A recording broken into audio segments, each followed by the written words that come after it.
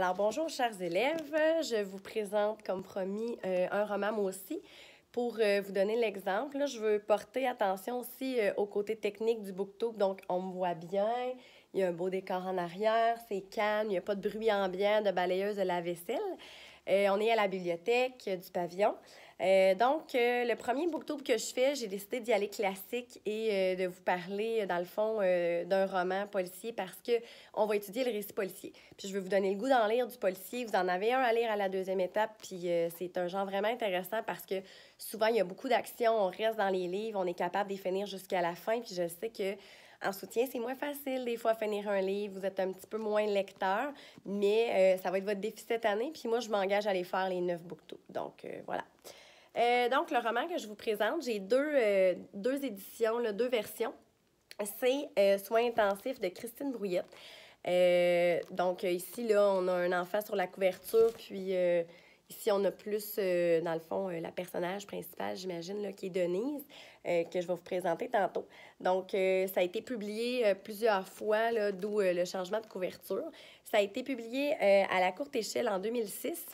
Puis, euh, il y a 251 pages. Donc, euh, ça a l'air épais, mais comme je peux vous montrer, là, euh, je peux vous montrer à l'intérieur aussi, là, c'est écrit relativement normal. Là, je veux dire, c'est pas trop gros, pas trop petit, ça se lit bien. Je peux l'approcher. Et voilà.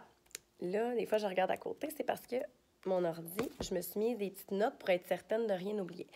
Donc, euh, je vous ai présenté le roman. Euh, je vous invite, euh, après, dans votre booktube, à me faire toujours un résumé du roman, mais sans dévoiler la fin. Donc, c'est l'histoire de Denise, qui est la maman de Kevin, qui a environ deux ans. Puis Kevin, depuis qu'il est né, il est malade. il souffre de maladie, d'une maladie mystérieuse ou de des maladies qu'on trouve pas.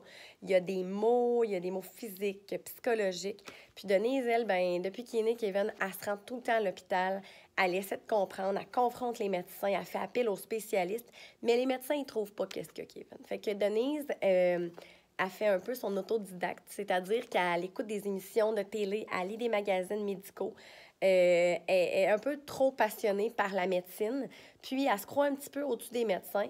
Euh, donc, elle les confronte beaucoup, puis elle comprend pas que les médecins ne trouvent pas qu'est-ce que Kevin. au fil du temps, dans l'histoire, va rentrer euh, en scène Maud Graham. Maud Graham, qui est l'héroïne de Christine Brouillette. C'est un peu la Miss Marple euh, comme Agatha Christie. Christie, Graham, Biscuit, on fait le lien.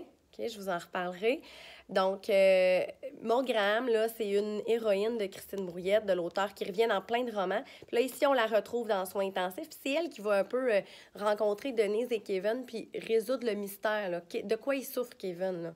C'est un petit gars de deux ans, mais hmm, sa mère, elle a peut-être pas l'air saine, saine d'esprit pour être capable de trouver de quoi il souffre puis comment l'aider. Euh, donc, euh, c'est ça. On va découvrir aussi euh, l'amour maternel, là, qui est peut-être pas nécessairement bien équilibré là, dans, dans soins intensifs. Donc, voilà. Fait que l'histoire de Denise, de Kevin, je vous en dis pas plus. Puis, c'est ça. C'est vraiment Maud Graham qui va enquêter. C'est la détective chouchou de Christine Brouillette. Puis euh, moi, ben, j'adore tous les livres que Maud Graham ou Maud Graham enquête parce que euh, c'est une détective vraiment là, euh, moderne. elle sert bon, des nouvelles technologies, donc l'autopsie, tout ça. elle est même amoureuse du médecin légiste avec qui elle travaille. Donc, on, a accès facilement à son monde, à Maud Graham. Puis elle, ben, elle s'entoure beaucoup de, de, de gens, euh, ben, son équipe d'enquête, je veux dire, qui l'aide, mais elle s'entoure aussi beaucoup de ce qui l'entoure. Donc, euh, souvent, ben, euh, dans la rue, elle, fait appel aux témoins, elle, passe les, les, les, suspects en interrogatoire, tout ça. C'est vraiment le, le modèle du récit policier. Mais tout au long du roman, on peut pas euh, dire ah ben oui je sais c'est qui. Souvent il y a un retournement de situation puis ça moi j'aime beaucoup ça parce que ben je suis rendue à page 100 je pense que je sais c'est qui puis finalement à page 103 ben c'est quelqu'un d'autre je soupçonne quelqu'un d'autre. Donc elle accuse pas les coupables tant qu'elle a pas de preuves. Puis ça ben je trouve que c'est euh, ce qui fait que c'est un bon récit policier euh, c'est écrit dans un langage standard, c'est-à-dire que c'est accessible à tous, mais on doit souvent sortir le dictionnaire ou euh, aller euh, sur Google regarder peut-être un mot, peu importe, parce que Christine Brouillette, elle sert vraiment beaucoup du, vocabulaire policier précis. Donc, ce qu'on a vu en classe un peu, alibi, euh, autopsie, coroner, tout ça, elle, elle sert de ces termes-là pour expliquer l'histoire. Fait que c'est sûr que quand j'ai commencé à les lire à l'adolescence, ces livres-là, euh, j'étais un petit peu moins à l'aise. Soins intensifs, c'est un des seuls que j'avais pas lu parce qu'il n'avait pas la Bibli euh, dans mon temps. Fait que je l'ai trouvé cet été usagé, puis je l'ai lu, puis je l'ai adoré. Donc, euh, par contre, avant de vous conseiller mon public cible, ben, moi, je pense que quand on commence à lire, on est peut-être mieux de s'en aller avec des récits policiers un petit peu plus courts. Il y en a plein d'autres que Christine Brouillette a écrit. Puis pour vrai, si vous en aimez un Christine Brouillette, vous allez aimer les autres. Fait que ça vaut la peine de commencer à les lire en ordre parce que elle fait vieillir son personnage de Maud Graham. Fait que si tu commences en lisant le septième roman, la septième enquête de Maud Graham, ben tu te rends compte que là, elle a un amoureux, tu comprends pas trop euh, euh, c'est qui les personnages secondaires. Donc, je vous conseille de les lire en ordre. Puis ça, c'est facile de trouver sur Internet l'ordre des enquêtes de, de, son héroïne. Mais sinon, Christine Brouillette, Anne en a écrit d'autres euh, récits policiers euh, où est-ce qu'il y a des enquêtes, tout ça, des mystères qui sont un petit peu plus un petit peu plus accessibles puis moins, moins obligés de les lire dans, dans l'ordre chronologique. donc voilà, c'est vraiment un beau personnage qu'elle crée avec Maud Graham. Puis c'est le fun parce qu'on a hâte de la retrouver dans le prochain roman, dans la prochaine enquête. C'est des romans qui ont été publiés quand même il y a une dizaine, quinzaine d'années.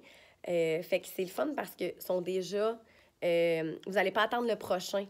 Euh, dans le sens que vous avez déjà une bonne œuvre à lire là, si vous décidez de lire les, les œuvres de Christine Brouillette. Il y a le collectionneur aussi qui est excellent.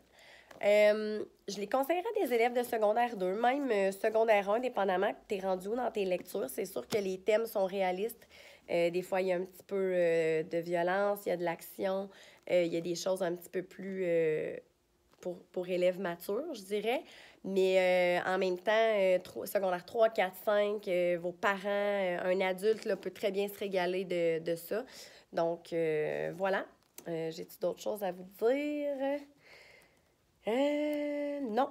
Donc, euh, c'était mon premier booktoon. Puis j'espère euh, vraiment que si tu commences à lire Christine Grouillette, ben, tu vas tout te taper ses romans cette année parce qu'ils sont vraiment bons. Merci.